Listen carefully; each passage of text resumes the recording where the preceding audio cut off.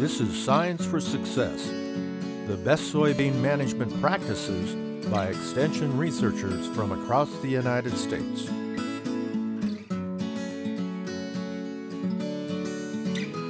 Hello, my name is Shaun Casteel, Extension Soybean Agronomist with Purdue University. Today we're going to be talking about soybean flowering. When we look at reproductive stages, and this is the beginning of reproductive stages, we have to start with the flower itself. And this initiation of flowering starts with critical photoperiod. You know, in other words, we hit critical night lengths in consecutive order.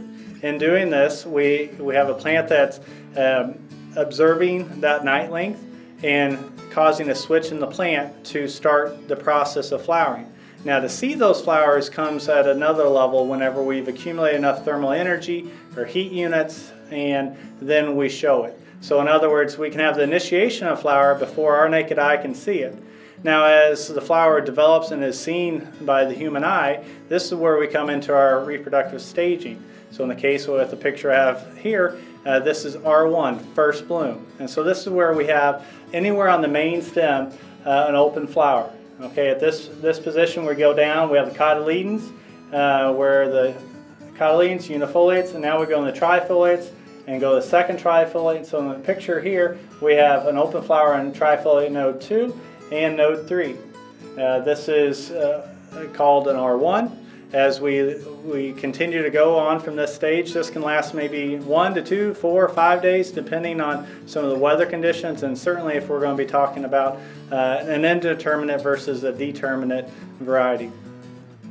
Now, as we advance to the second stage of this, this pairing of reproductive development flowering, uh, this is where we have open flowers up the main, main stem as we go through this and uh, now it's on the upper two positions. So as we go to the top, we have the terminal bud, upper node position one, upper node position two. Both in this case have an open flower, and so this would be classed as R2 or full bloom.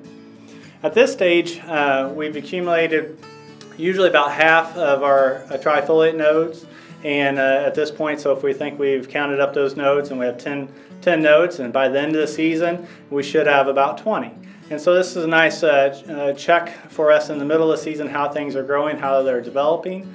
Uh, again, as we advance with critical photo period, you know, not every plant is going to reach uh, this at the same stage. In other words, that same variety planted the last week of April or early May is going to reach this R1, R2 later uh, or earlier, excuse me, than a later planted crop. So if we go to the first week of June, for instance, we've got this combination again of critical photoperiod or night length as well as heat unit accumulation.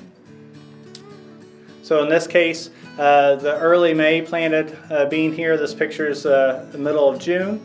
Uh, probably really won't start flowering until late June, early July, depending on again how much uh, heat unit accumulation versus the early June picture is going to be the beans are going to continue to develop since the light quality, the photoperiod, and the night length and thermal energy and start flowering probably the middle of July.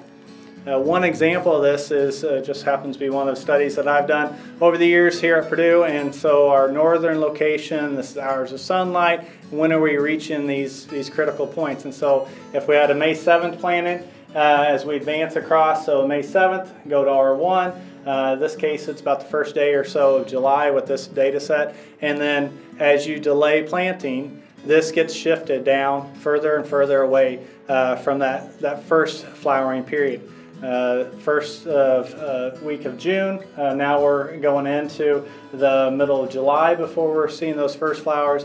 And certainly as we push it later and later, uh, we're going to have later development and flowering will occur later in the season. This, this is going to create this compression in terms of our overall flowering and reproductive development, and so loss of a potential uh, yield there. One thing uh, when we talk about flowering of soybeans, we flower a lot. And so in other words, uh, we put out way more flowers than we realize to the point of pods and seed production. And so in that we can lose as little as 20%. In more cases than not, it's, it's higher than that 50, 70, 80% of our flowers are, are aborted. And so in that, we lose a lot. And so there's this concept of, okay, should we do something with that? Or is there anything that we can do to bring those to life and, and follow all the way through? The main story of this is that soybeans have an ability to adapt and adapt from the loss of flowers and the loss of, of leaves for that matter.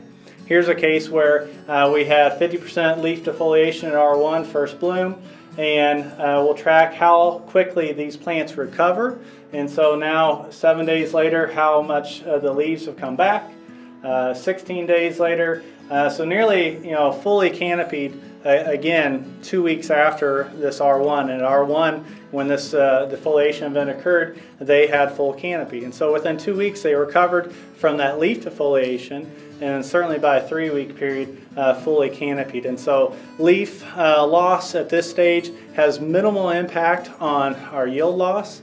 It's the same concept that we think about aborting flowers, has minimal effect on our, our yield. Um, yield loss maybe on something like this would be on the order of 5 or 10% yield loss. Now certainly you go at 100% everything gets taken off and then what is the recovery time? It's going to take much longer for this plant to recover. Seven days later, two weeks later, three weeks. So three to four weeks after this 100% defoliation is about how long it's going to take to fully recover, get our canopy back.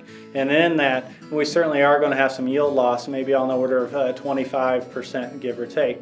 So again, this concept that leaf loss earlier in the season, this R1 stage, um, has some effect, but not nearly as much as we go into our later reproductive stages. And so within this, we really want to be maintaining the idea of when are we reaching R1, what can we do uh, so that first bloom to full bloom, what can we do to, to maximize canopy closure, quicken that or hasten that with timely planting and uh, narrow row spacings, and then follow that through with good scouting, good recommendations for management of a disease or insects. And then finally, to know this stage is critical for our weed control. If um, we're going R1, R2 applications, that is a, a, point where a lot of our herbicides are, are going off label. So we don't want to go beyond that and cause us uh, any undue harm or yield loss there.